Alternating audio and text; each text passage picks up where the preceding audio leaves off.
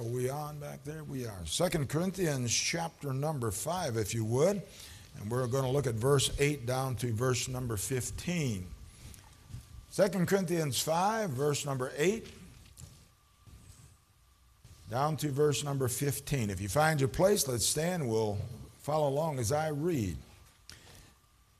In verse number 8, the Bible says, We are confident, I say, and willing rather to be absent from the body and to be present with the Lord. Wherefore we labor that whether present or absent, we may be accepted of Him. You ought to think about that verse right there. Amen. We say we're saved tonight. Are we living for God? If He walked through those doors right now, and walked down here and pointed at every one of us, could we say, I'm acceptable right now? That's what the Bible says. Amen. It says, For we must all appear before the judgment seat of Christ, yes. That everyone may receive the things done in his body according that he hath done, whether it be good or bad. Knowing therefore the terror of the Lord, we persuade men.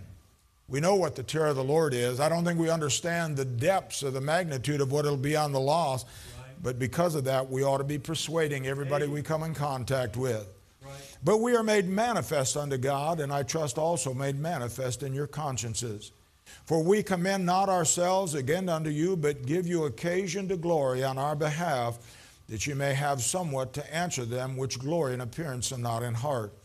For whether we be beside ourselves, it is to God, or whether we be sober, it is for your cause. For the love of Christ constraineth us, because we thus judge that if one died for all, then we're all dead. But look at verse 15. And that he died for all, that they which live should not henceforth live what? Unto themselves, but unto him which died for them and rose again. Father, again tonight, we're thankful for the Word of God. We're thankful for the Holy Spirit of God that takes the Word of God and drives it into our heart and opens our mind and allows us to see the truth and what we really need to be. And I pray tonight, Lord, that you would just encourage our hearts. I pray you'd challenge each one of us not to just go through the motions of Christianity and be mediocre, but Lord, that we would be on fire for you and that we would make a difference in this world for the cause of Christ. And we're going to just thank you for what you do tonight, for we ask it in Christ's name. Amen. You may be seated. Now, I want you to notice that last verse where it says, And that he died for all, that they which live should not henceforth live unto themselves, but unto him which died for them and rose again. I drew a line from live to the words unto him. We need to live unto him. Amen. We need to live for him, for his glory. This week, my wife and I, we have a satellite, not satellite, we've got that little thing on the antenna on the roof, and we can get uh, different things. And we get the Prime video thing, and we've been looking for stuff that you can watch. Not much you can watch on there, amen? But we saw some testimonies. The first one we saw was of Fanny Crosby. How many of you heard of Fanny Crosby? Fanny Crosby came from a home that had quite a lot of, uh, of religious uh, overtones, I would say, but Fanny Crosby was not saved until she was older in life after she had been blind. And I think about this there was a young lady that, by all rights and means, even in that day and age, probably should have just thrown her hands up and say, Woe is me, I can't do anything in life. But you know what Fanny Crosby did? She lived unto God and gave everything she had to Him. And I think about this. I was telling Pastor as we looked at it, she had written, and this was just hymns, she wrote poems as well, but over 9,000 hymns she wrote. And she had over 200 pseudonames that she went by, so everybody wouldn't lift the name of Fanny Crosby up and brag on her. She had all these different names, so nobody knew where they came from, but they literally came from Fanny Crosby. And it was all because she lived unto God. And then we watched another one. How many ever heard of C.H. Spurgeon? Uh, if I'm not mistaken, Spurgeon came up in a religious home, and maybe I think was his dad a pastor. Somebody in the family was pastor. His grandfather was a pastor, but Spurgeon struggled. He struggled terribly. And it shows us he's walking through the countryside in the middle of a snowstorm at 15 years old. And he, he was so miserable. He said, I know that I'm not right. He said, The sin in my life is so terrible. And I can't imagine what it's like to God. And because of that storm, he snuck into a little church. There was only half a dozen people. And a young pastor was preaching. And when he preached, Spurgeon got under conviction and Spurgeon got saved. Do you realize that Spurgeon preached to thousands and thousands of people every week? Yeah. And the only reason was because he gave himself unto God. He was living for God. He was 16 years old when he took that first church, and the church was declining. It was terrible. And it was within just months, they were running over 2,000, and people came from everywhere to hear Charles Haddon Spurgeon. But the reason was is because he eventually gave himself and he was living unto God.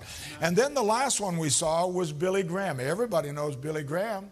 Billy Graham came out of a, a family that were dairy farmers. He lived on a farm most of his youth. And Billy Graham never got saved till he was 16 years old. He bounced in and out of different uh, schools, and then he finally went to some Bible schools. He almost got kicked out of Bob Jones University.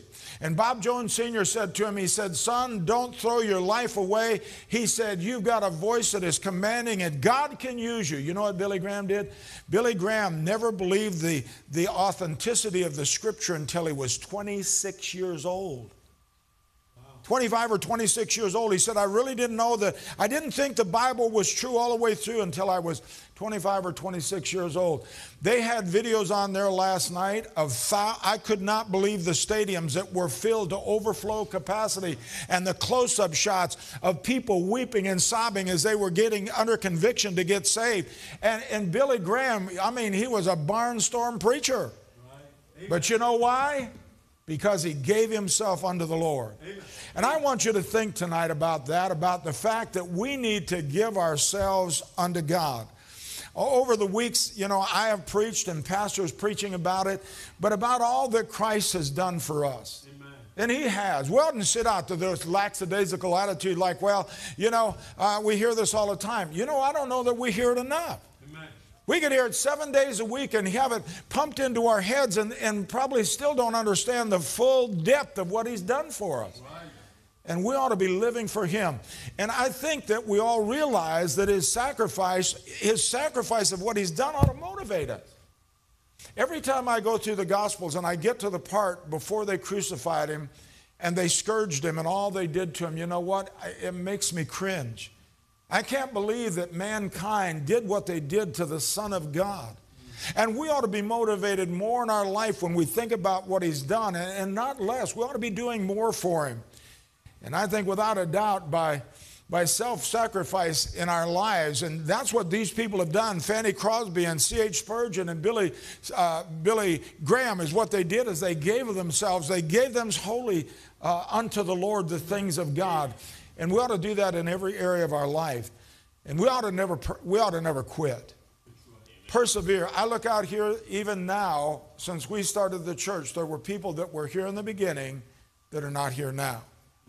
Over the years, Pastor Granny pastored 25 years in California. I'll guarantee you there were people that sat in the pews that were on fire for God at one time, but now they're nowhere to be found. Why? Because they would not give themselves unto the Lord. We cannot quit. We must persevere. We've got to go on. And we need to live every day of our life in victory, not defeat. You know, the devil wants to defeat us. Look what's going on right now in the United States of America. You look at this Democratic National Convention that's going on, it's absolutely the most bogus thing that's ever happened. And the only reason is, it's trying to take down a man that is over our country now that's trying to make, bring America back. Amen. Amen? Amen. And if the devil will do that to the United States of America, don't kid you, he's going to do it to the foundation of this nation, and that's the families in America. Right. And we need to put all our confidence, every bit of our confidence in Him. I thought about when Billy Graham said that I didn't believe in the authority of the Scripture until I was 25 or 26 years old. We can't have any questions about that. Amen. The Bible is true from cover to cover, and the cover included in it. Amen. Yes and never doubt what he's doing and never doubt or question the work he's trying to do in our lives. He makes no mistake. You say, but we're going through a hard time right now. We've got tragedy in life. We've got this in our life. Don't second guess what God is doing. Right. God knows exactly what he's doing. And what I want to do tonight is I want to look at how we can live unto him and glorify our Lord with our lives. I want you to look over at John 15 and verse 5 through 8. You know how we can glorify the Lord and we can live unto Him? We can do it as a branch that bears fruit. I think about this over here in John chapter 15. We all know this passage of Scripture.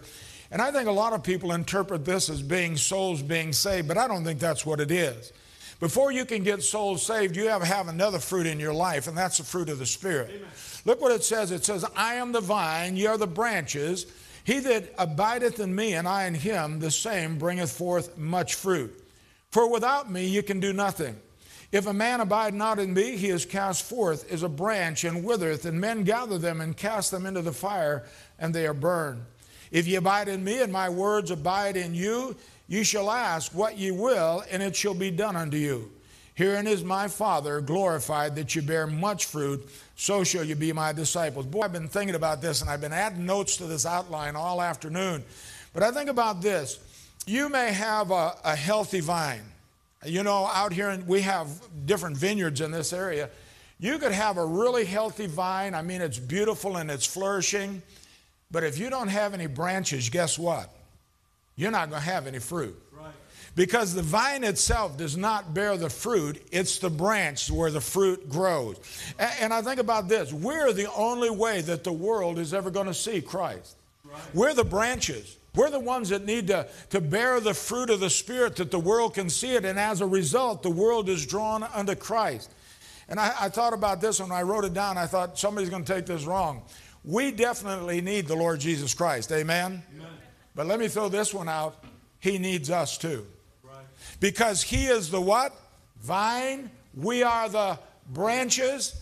If we are not connected to the vine and the branches are not there, there's not going to be anything accomplished for Christ on this earth. And think about this. I don't care who you are tonight, whether you're young, whether you're old, you're in between, you say, Well, I really don't make a difference. I don't count. We all count if we're saved. Everybody in here tonight. And we ought to have the attitude that I can go out because the power of God is available to me, and I can go out and I can be a witness and I can bear fruit for the Lord Jesus Christ if we will just live unto Him. Amen. Amen. Uh, also, most folks can, uh, can identify a tree by just looking at the tree. A lot of people, some people, if they're timber people, they can. But if you go out and there's a tree and that tree, the leaves are gone and everything's off it, you go out there and you look and say, Oh, I wonder what kind of tree that is. When can you tell what kind of tree it is? when the fruit is on. And that's the same thing for you and I. You and I are the branches, and we're the ones that should bear the fruit of God, and, and the, the message of God goes forth through us. Now, I want you to think about this. How many of you have you've gone over and look at Galatians 5 and look at verse 22 for, to verse number 23? The fruit that needs to be seen in our lives is found in these two verses. Now, all of us have read these, and I know pastors read it just recently, and, and he gave definitions, but I want to give you some de- definitions that were in Strong's, and these are long definitions, but I want you to think about it. The fruit that we need to bear is found in these two verses, but the fruit of the Spirit is what? Number one, love, joy, peace, long suffering, gentleness, goodness, faith meekness, temperance, against such there is no law. As a branch, you and I need to bear and display the love of God. Now, that's the word agape. Now, here's a definition of found it says the love of God is the first duty of man. Wow, first duty of man. And this love springs from a realistic view of his attributes and the excellencies of his character. My goodness, our God is perfect. Amen. And the love that He has bestowed upon us is perfect, and we ought to have that love being displayed on others. And then it goes on. It says, His character, which brings the highest delight to the sanctified heart, to esteem and reverence Him in every way, and to have a fear of offending Him is its inseparable effect. If we are having the love of Christ in our heart and our life, we're going to display it to the world. But not only that, that love is going to be proven because we never want to let Him down. Amen. We don't ever want to break the heart of God. And our love for Him is displayed, and the world sees that. But then look at the second one it's joy. As a branch, we must display joy. Here's the definition the delight of the mind from the, the consideration of a present possession. You know, you just got a brand new truck. Boy, you know, you have joy over that, right? Because you can see it, it's right there. But what about this? It's also or the assurance of an approaching possession. You know you're going to get a new one down the road. That brings you joy too. Man, I bought a new truck for myself. I had the money, but guess what? Kimmy, I'm buying you a new car. That's a joyful thing if you got the money to do it. Amen. Amen. Y'all looking at me like calf looking at the new gate. but what is the thing that we're looking forward to? The fact that we got saved ought to bring us joy. Amen. Amen. That's in the present. But you ought to think about the joy that just look forward to the one day we're going to be in heaven. Right. And listen, a lot of Christians walk around, you talk about the frumpy lip. I talk about that all the time. You walk around with your lip hanging down. What kind of a branch is that? Nobody say, man, I don't want the kind of fruit you got. Look what it did to your lip. Amen. But then look at the next one. As branches, we need to display peace. Here's the definition given To be at peace is to be reconciled, to live in harmony. To make peace is to reconcile with parties at variance. To hold your peace is to be silent and to suppress one's thoughts and not to speak. We ought to be peacemakers. We ought to be one that are that are right with people. Anybody that we know we're at odds with and we can make that difference, we ought to do it. That's what we ought to be displaying as the branches for the Lord Jesus Christ. Not running around with grudges, with unforgiveness and everything else. We ought to be peacemakers. But then here's the other one long suffering. Oh, this is a good one. Bearing injuries for a long time, patient, not easily made angry. How long is your fuse of patience? Who said that? Oh, Joe, how long's yours? Okay. you didn't see that. I said, How long's your fuse? He said, About that long. but that's, that's one of the fruits of the Spirit. How often do we think about this? about the love and the joy and the peace. This is what we need to be portraying. And if we're living unto God and our life is dedicated to Him, these things ought to be inseparable in our lives. And then look at the next one gentleness. As a branch, we need to display gentleness. Uh, the definition softness of manner, mildness of temper, sweetness of disposition. Wow. You're just a gentle, silly savage. Amen. Oh boy. then the next one goodness. Goodness is defined as uprightness of heart and life, possessing and displaying moral qualities which constitute Christian excellence and moral virtue. Amen. Wow. Then here's another one. Uh, these are all part of the fruit of the Spirit. You say, but that's more than one fruit. No, it's one fruit with many characteristics. Amen? I always use that apple. An apple, it, it may be one piece of fruit, but there's a lot of characteristics. It's the color of the outside, the, con, the texture of the inside, the flavor, everything about it. It's one fruit with different characteristics. That's the same with the, the, the fruit of the Spirit. But then look also, if you would, at meekness. Here's a definition softness of temper, exercising patience under injuries and provocation. Whoa! Uh, in a spiritual sense, humility, submission to the divine will of God without murmuring, opposed to pride and arrogance. Now, we've all heard definitions, but I'm going to be honest, this is the first time I heard it in detail like that. And this applies to us because we are the branches on the vine, and this is the fruit we ought to be displaying to the world. And then, of course, the last one, I love this one, and that's temperance. It means moderation, habitual moderation. You know what habitual means? It means all the time. You say, well, I'm, I'm pretty moderate most of the time, but you know, when somebody twists my tail, man, I blow up. What's wrong in here tonight? Come on, you guys. Moderate, moderation, habitual moderation of the natural appetite and passions, and also uh, drunkenness and other physical indulgence. In other words, it means self control over all of those things. Amen. Uh, and we ought to do this all for the Lord. It's not for us, it's for the Lord that we might bring glory unto Him. That word unto Him ought to stick in our mind. What we do ought to be unto Him Amen. and not for self. And then, secondly, Mo, we got to hurry. I'm going to do a Pastor Granny message here. Do you know what? I struggle with that for him, but I have to be honest. the Lord has blessed our pastors preaching, and it doesn't drive anybody away. It draws the people to our church. Keep on preaching, brother. Amen. But then look at Matthew 5 14 through 16. We can also glorify and bring glory unto the Lord as a light that shines. And the Bible says that we are the light. We should shine. Look at Matthew chapter 5, verse 14 through 16. It says, Ye are the light of the world, a city that's set on a hill cannot be hid. Neither do men light a candle and put it under a bushel, but on a candlestick, and to give it light unto all that are in the house. Let your light so shine before men that they may see your good works and glorify your Father which is in heaven. I remember years ago, and I, have mentioned this several times, but I was reading about the culture during Bible times, and in the average family, they lived in just a basically square house. They weren't very big.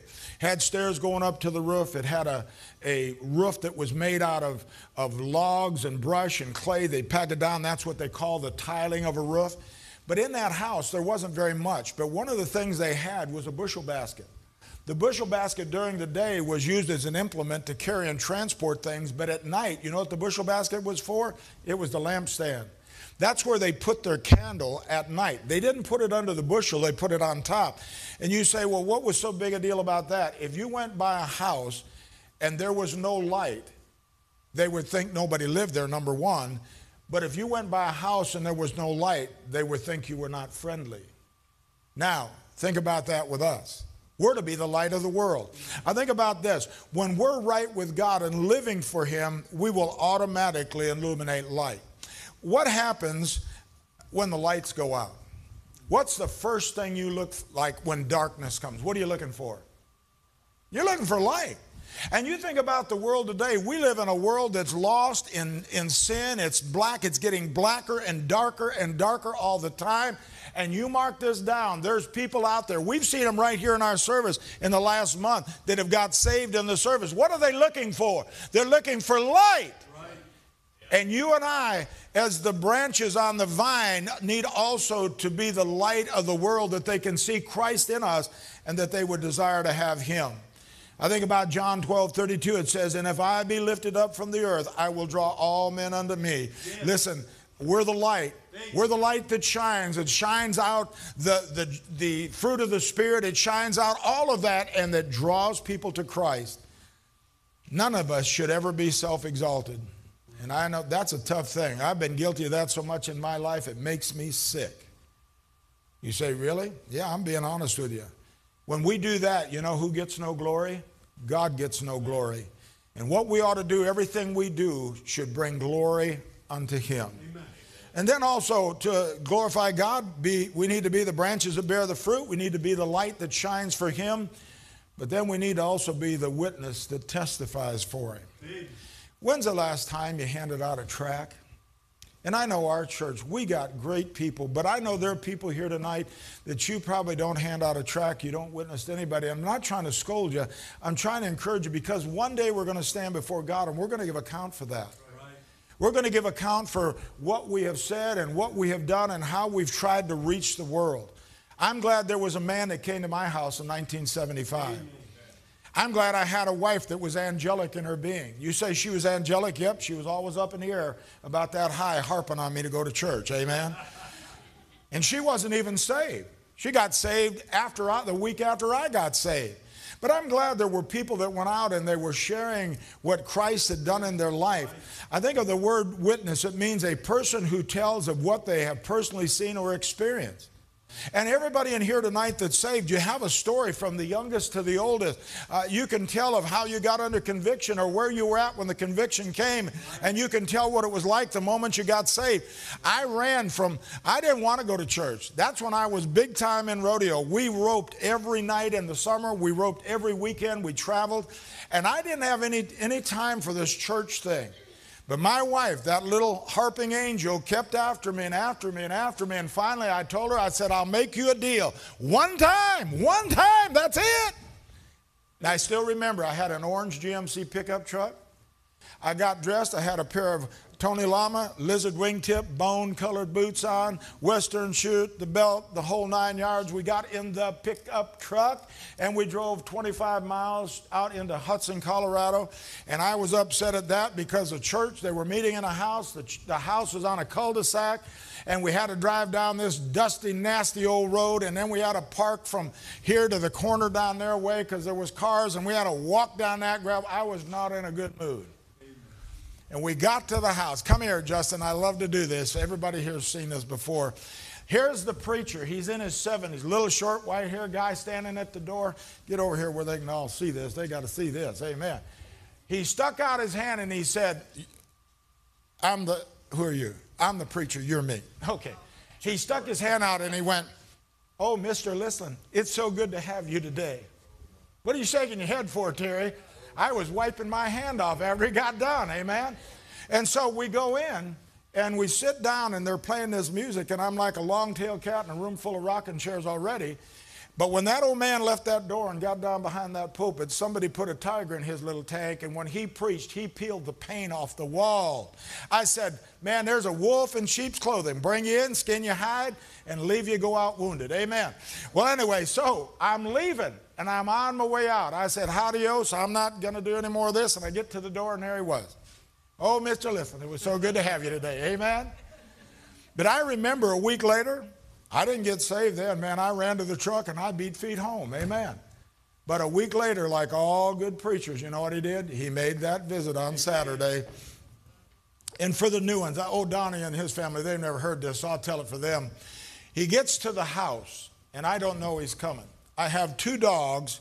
I had an Australian Shepherd. His name, registered name, was Deacon's Prophecy. I had a Blue Heeler's registered name was Preacher's Promise. Am I telling the truth?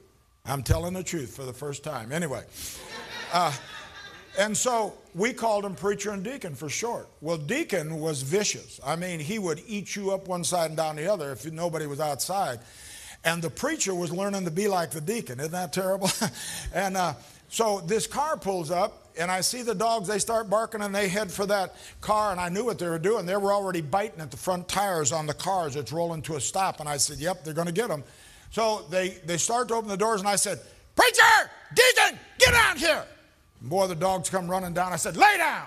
Boy, they laid down, and I look up, and here's these two guys running right straight for me. And I thought, what in the world's going on here? They're running after me. And then I realized who it was. It was that little preacher and somebody else with him. Well, I'm going to shorten this up best I can. He talked to me a little bit, and I couldn't wait for him to leave. And he said, You know, we'd really like to talk to your wife and children. I said, I'd love for you to talk to my wife and children. I said, Go right up there to the stairs, walk up on the deck, knock on the door. She's there. Oh, but Mr. Lystlund, we'd like you to come with us. And I remember that day, I didn't want to go. And I said, If you go up there, self, you're going to be in trouble. And sure enough, I went up there I sat on this three cushioned early American couch as close to the arm as I could get.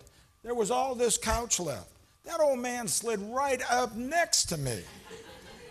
And then he talks to my wife and the children, and he said, Oh, by the way, this man is deacon so and so. Well, now I understood preacher and deacon. Amen. And so he's talking to him for a while, and then he very abruptly turns and he said, I want to ask you something. And I said, See, he's going to ask you something. You have no idea what you're going to tell him. He said, If you died right now, where would you spend eternity? I said, Sir, the way I've lived, I would go to hell. I've done everything short of kill somebody and be a sodomite. He said, Yep, that's where you go. He said, Do You want to go there? 27 years old, the first time in my life, I acknowledged, I said, I don't think anybody wants to go to hell. You think you're a tough guy, you think you're a tough lady, and you're here tonight and you're not saved and you've been putting it off and you know what right is. Let me tell you what, you're not tough, you're dumb. I worked construction. I was a fitter. I worked on big construction jobs, put my life in danger oftentimes on high jobs. But that day I realized that I wasn't as tough as I thought I was. And he said, If I could tell you how to get to heaven, would you do it? And I said, No, sir, because you don't know how to get there any better than I do. I thought I had him. He said, You're right, I don't. But then he reached in his coat, he pulled out a little leather book. Amen. He said, If I can show you in here, would you do what this says? I says, What is that? He said, It's the Bible. I said, If you think you can show me in the Bible, I said, I'll do it. Well, that was the day I got saved. You know what? That's a testimony. And it doesn't have to be that long, but I could have just said, You know what? My wife begged me to go to church. I went to church. I heard the preaching, didn't know what it was. A week later, they came by and took the Bible and showed me, and I got saved. We all have a testimony. And I'm going to tell you, if we're going to live unto Him, that testimony is going to be very special. Because other people that we come in contact with, you know what? They think they're different than a Christian. Honestly. Uh, some of the toughest people I've ever seen that you just you just dreaded to go to their house to talk to them and to witness to because they were the big tough people. You found out that they had the soft, tender heart that was waiting for somebody to tell them about the Lord. But I, if we can glorify God and we can be a, a, a witness unto Him, and that's what it's all about. I wonder tonight if you were asked to stand and give your testimony personally, could you do it right now? And if you couldn't, you ought to think about that and you ought to do something about it. But then look at John 13 and verse 12 through 17. I want you to see this also. We can glorify God by bearing fruit and by shining as a light and by being a testimony, giving our testimony of what He's done in our life, but then also we glorify Him by being servants that serve. And again, I, I compliment Faith Baptist Church people. Our Saturday morning meetings, when we have something going on, just look at the, the, the uh, fundraiser we're doing. There are people are involved, but not everybody is involved the way they should be. I want you to look at John 13 and verse 12 through 17. It says, So after he had washed their feet and he had taken his garments, he was set down again. He said unto them, Know ye what I have done to you? You call me Master and Lord, and you say, you say, Well, for so I am. If I then, your Lord and Master, have washed your feet, you also ought to wash one another's feet. For I have given you an example that you should do as I have done to you. Verily, verily, I say unto you. Now, notice this the servant is not greater than his Lord, neither he that is sent greater than he that sent him. If you know these things, happy are ye if you do them. Often, the work of the ministry doesn't get much dignity. There's not much glamour in the ministry, but you know what? It's got to be. And we all have to serve. I appreciate those that clean our church. You come and clean the church. Uh, we have those that mow the grass and we take care of this place. We all ought to serve God. And when we do it, we're not doing it to get some kind of self gratification or somebody patting us on the back, but we're doing it as unto the Lord. And that's what He wants us to do, as unto Him. Uh, I, I think sometimes people want to hear the applause. And I, there's nothing wrong with somebody coming up and say, hey, you did a great job. I think that's great. But that oughtn't be the motive of why we serve. We ought to serve because we want to do it unto the Lord. And I think about this. But our Lord said we would be happy if we would do as He has already done. And you know what that is? That's just to be a servant. I think of when He took that, that towel, which was a tool of a servant, and he girded himself with that and he got down and he washed the feet. You say, is that what he wants us to do? I think he was just setting an example that we ought to be willing to humble ourselves and do whatever the task might be. It's pretty humbling to get down and wash somebody's feet. Some feet in here probably you wouldn't even want to see them unsocked, Amen. But we ought to be servants for God. I think about this how, how can we serve? Well, we live every day for the Father, every day we be faithful to whatever God has called us to. And where God sends us, that's where we'll go. Whatever God tells us to speak, that's what we'll speak. And we'll never quit. And we'll suffer if need be. And we'll be willing to sacrifice the other. Do you remember where Paul said, I'm willing to spend and be what? Spent. That ought to be our attitude as well. I think there's great satisfaction in being obedient and doing exactly what God wants, but we have to do it unto him. And then the last thing, and I'll quit, is this. Look at 2 Timothy chapter 2 and verse 1 through 4. We can glorify God by being soldiers ready for the fight. And there's a battle going on, folks. It is a spiritual battle today in our country and around this world. I think about when we prayed tonight, and I don't know if it's changed, but uh, the Batotos, wasn't it, uh, that they weren't getting their, their support and stuff because of the mail or the banks? You know, there's a battle going on, and the devil's fighting all over this world. He doesn't want our missionaries to get the gospel out. He doesn't want the churches in America to get the support to the missionaries. And we need to be ready for the fight. And that's how we can live unto God. Look at there at 2 Timothy 1, 2 and verse 1. Thou therefore, my son, be strong in the grace that is in Christ Jesus. Boy, that word grace, since preacher preached on that, has had a whole lot greater bearing in my life than it ever has before. It's the grace of God that we get this stuff done. Yes. And the thing that thou hast heard of me among many witnesses is saying, Commit thou to faithful men who shall be able to teach others also. Thou therefore endure hardness as a what? Good soldier of Jesus Christ. No man that warreth entangleth himself with the affairs of this life that he may please him who hath chosen him to be a soldier. I think too many times we let the things of this life deter us from doing what God wants us to do. It deters us from being in the battle the way we ought to be in. Uh, there will never be in this life an end to the battles against sin, self, Satan, and society. There won't. There's never going to be an end to it. And we've got, we can't let the cares of this life and of the affairs that are going on around us to hinder us from the work of Christ. And when we fight the battle and we fight the fight, we're not doing it for ourselves, we're doing it unto Him because He's worthy. We should never let down our guard. And I think of these last verses, and we'll be done. Look, if you would, at Ephesians chapter 6. And this is how we ought to be prepared. Ephesians 6, verses 10 through 17 we need to always be properly and fully equipped. You say, Well, I got part of it, but I don't have it all. We need to have it all. I think about a, a, soldier would go into battle if he had one part of the armor that was missing. You say he put his breastplate on. Well, that's good. That protect the vitals in the front. But what if he turned around he didn't have the armor on the back? What if he didn't have on the, the, the armor on his legs and they'd hit him in the legs and knock a leg out? He wouldn't be able to go on and fight.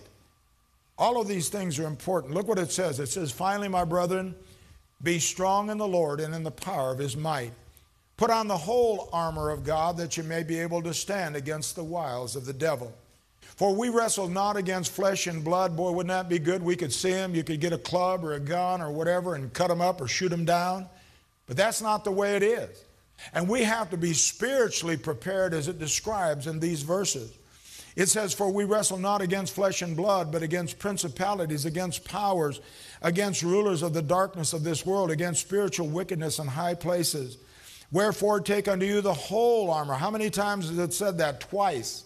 The whole armor of God, that you may be able to, to withstand in the evil day, and having done all to stand. Stand therefore, having your loins girt about with truth. We ought to be people of truth. We oughtn't accept untruths in our life. We not never speak untruths with our mouth, but we need to live in truth. Having your loins girt about with truth and having on the breastplate of righteousness. Righteousness, the breastplate. Where, where is the attack coming? What causes us to fail on God? It's when our heart is not right and our heart gets hard. And the breastplate of righteousness, and your feet shod with the preparation of the gospel of peace, above all, taking the shield of faith, wherewith ye shall be able to quench all the fiery darts of the wicked, and take the helmet of salvation and the sword of the Spirit, which is the word of God. Now is the time for enduring, not for retreating in the battle. And I think over the years, I know Kevin's been on the road. I think he told me the other day 30 years. We were on the road 26 years in the ministry now almost 45 years, and I guarantee you there's a lot of retreating going on. Where Kevin would once preach or I once would preach, they don't want you anymore because they don't want to hear the truth. They don't want to ripple the pond. Now's not a time for us to back up. Now's a time for us to stand our ground and go forward. And all for the Lord Jesus. It all needs to be done unto Him. What we need to be is we need to be the branches that bear fruit. We need to be the light that shines in the world. We need to be the one that can testify of the greatness and the wonders that God has done in our life. And we need to be the servants that will serve and the soldiers that will fight Amen. and not back up. I wonder tonight, I, I hope that you think about that and it's an encouragement. We all need, we all need work. Amen? And that old song, He's Still Working on Me Amen. to make me what I ought to be. There's nobody in here tonight that's perfect. And we ought to think about these things and not just say, well, we hear that and we've heard it before and, and we know all that, but what are we doing with what we hear?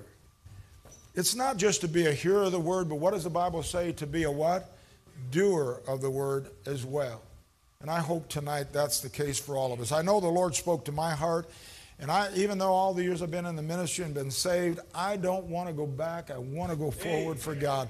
And had those testimonies the other night of the blind lady, Fanny Crosby, of Spurgeon and of Billy Graham, of people who started out as grassroots just like we are. Fanny Crosby in a whole lot worse state. But look what God did with them because they gave their lives unto Him. Amen. And that can be the same thing for everybody at Faith Baptist Church. Let's bow our heads, please. Our heads are bowed and eyes are closed. I wonder tonight if there might be one, just one in here tonight. You're not saved. You know you're not saved. You've been playing church, going